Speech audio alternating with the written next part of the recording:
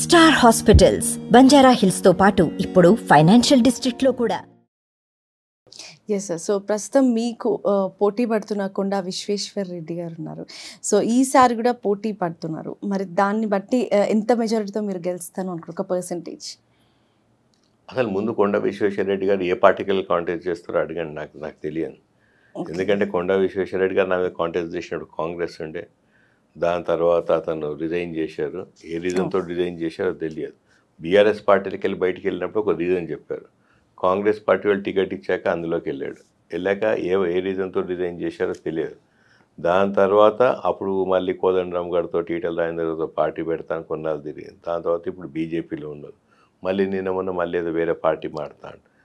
ఎప్పుడైతే opposition candidate ఇంత fickle minded తోటి ఉండి ఇట ఆట అని ఆలోచించేటప్పుడు ప్రజలు ఆలోచిస్తారు కదా. ఇప్పుడు నన్ను పార్టీలోకి వచ్చినప్పుడు నేను చాలా సీరియస్గా కమిట్మెంట్ తోటి నేను పనిచేస్తున్నా అవతల వాళ్ళం పార్టీలు మారి ఎక్కడ అవకాశం వస్తే అక్కడ పోవాలనుకుంటే ప్రజలు డిసైడ్ చేస్తారు.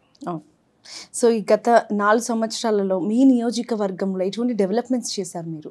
నేను పోల్ ప్రామిసెస్ అని చేస్తుంటాం మేము. లాస్ట్ టైం నేను ఎప్పుడైతే ఎమ్మెల్యే సారీ ఎంపీకి కాంటెస్ట్ చేసినప్పుడు తిరిగినప్పుడు ప్రతి ఎమ్మెల్యే కాన్స్టిట్యున్సీకి వెళ్ళినప్పుడు అక్కడక్కడ జనరల్ వాళ్ళు అడిగేవారు మాకు ఈ ప్రాబ్లమ్స్ ఉన్నాయి ఈ ప్రాబ్లమ్స్ నేను అన్నీ నోట్ చేసుకుంటూ వెళ్ళేవాడిని. సాయంత్రం రాగానే ఇంట్లో పలానా కాన్స్టిట్యున్సీ పలానా గ్రామంలో ఈ ప్రాబ్లమ్స్ చెప్పారు అని చెప్పి నేను అప్పుడు ఇంకా అంత డీటెయిల్గా పోకుండా కూడా I made all note of all the points తర్వాత చాలా బలంగా చెప్పాను అనమాట నేను అభివృద్ధిలో మీతో పాలు పంచుకుంటా అందుబాటు ఉంటాను.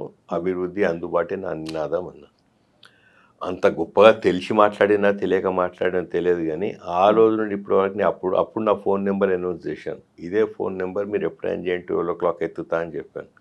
I have the same phone number నేను అన్ని ఫోన్ కాల్స్ అటెండ్ అవుతాను మళ్ళీ మిస్డ్ కాల్స్ మళ్ళీ ఫోన్ చేస్తాను.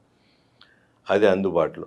అభివృద్ధి పరంగా నేను చేసిన డెవలప్మెంట్స్లో నిజంగా అంతకంటే ముందు ఎంపీలు ఎవరు ఇంత చేయలేదని చాలా బలంగా ఎందుకు చెప్పగలుగుతున్నా అంటే నాకున్న కాన్స్టిట్యున్సీస్లో ఫస్ట్ చేవేళ్ళలో ఇమ్మీడియట్గా డెబ్బై సంవత్సరాలు ఏ బస్ డిపో ముట్టని అన్ని కేంద్ర ప్రభుత్వమే కావచ్చు రాష్ట్ర నాయకులే కావచ్చు. కొత్తగా బస్ డిపో కడుతున్నాం. చాలా బ్యాడ్ మెయిన్ నేను చివరి Oh. చివరిస్తాను ఉంటుంది. పక్కకే డిగ్రీ కాలేజ్ కట్టి ఎయిటీ పర్సెంట్ పని చేసి ట్వంటీ పర్సెంట్ పని కోసం ఆగిపోయి ఉండే. ఒక స్టేడియం ఎప్పుడో ట్వంటీ ఫైవ్ ఇయర్స్ బ్యాక్ స్టేడియంకి శిలాపలకం వేసి అక్కడే ఉంచారు.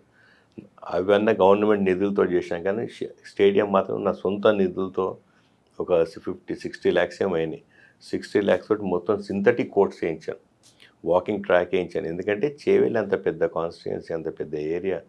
వాకింగ్ ట్రాక్ లేదు. అందరు ప్రజలు రోడ్ల మీద నడుస్తుంటారు.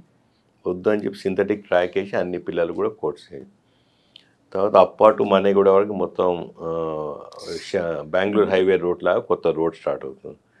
వీటితో ఏమవుతుంది చేవేళ్ళ ప్రజలందరూ హ్యాపీ అయిపోతారు. రోడ్ కావాలి వాళ్ళకు బస్ డిపో కావాలి హాస్పిటల్. డెవలప్ చేసాం కాలేజ్ అయింది ఇవన్నీ.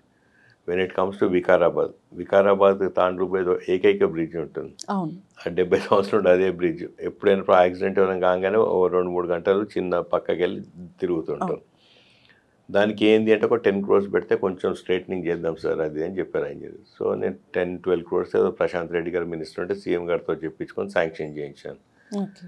దాని తర్వాత అక్కడ లోకల్ క్రిస్టియన్స్కి ఏదో ఆబ్లిగేషన్ ఉండేది ఆ స్ట్రైట్నింగ్కి మళ్ళీ అందరిని రిక్వెస్ట్ చేస్తే వాళ్ళకి హండ్రెడ్ క్రోర్స్ వస్తే మళ్ళీ కొత్త బ్రిడ్జ్ అవుతుందంటే సీఎం గారిని మళ్ళీ రిక్వెస్ట్ చేయడం జరిగింది.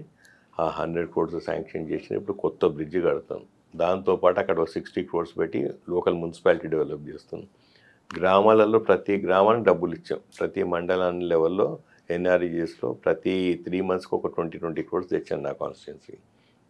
ఇది కాక అక్కడ యూత్ అంతా అడుగు పదే పదే అడిగేవారు అనమాట మాదంతా జోగులాంబ జోన్ పోయింది సార్ వికారాబాద్ తర్వాత. We wanted it to be into Charminar zone అది.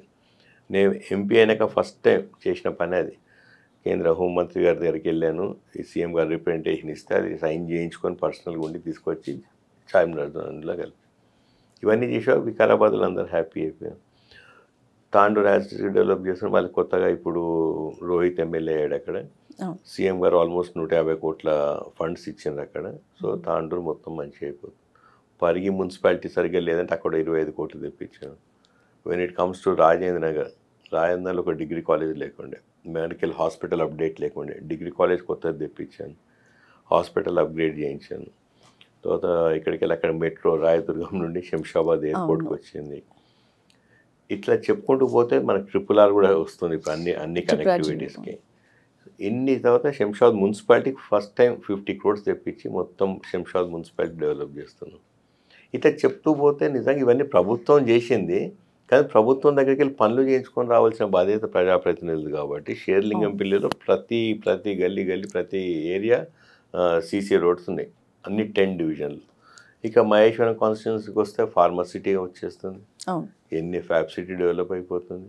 ఫార్మస్ అంటే శ్రీశైలం రోడ్ అంతా అంత పర్ఫెక్ట్గా డెవలప్ ఎస్ సార్ సో ఇట్లా ఇన్ని రకరకాల డెవలప్మెంట్స్ అనేది గచ్చిబోల్ ఎన్ని ఫ్లైఓవర్స్ అయినాయమ్మా? మీరు ఎక్కడ. ఉంటారో తెలియదు కానీ ఆ. కనెక్టివిటీ ఆఫ్ ఫ్లైఓవర్స్ గురించి యూ నేమ్ ఎనీ వన్ హైదరాబాద్కి వచ్చిన ఫస్ట్ గచ్చిబౌలి మీదకి వచ్చుకుంటూ ఆ ఫ్లైఓవర్స్ చూస్తూ హైదరాబాద్లో ఉన్నామా అని అంటారు. అవును. మ్యాన్హాటన్లో ఉన్నామా అని చెప్పి ఆ మనకు వాటర్ బాడీస్ ఇటు టవర్స్ తర్వాత మధ్యలో ఈ ఫ్లైఓవర్స్ రజనీకాంత్ అన్నారు కదా. మమ్మల్ని యాక్టర్ రజనీకాంత్ వచ్చి.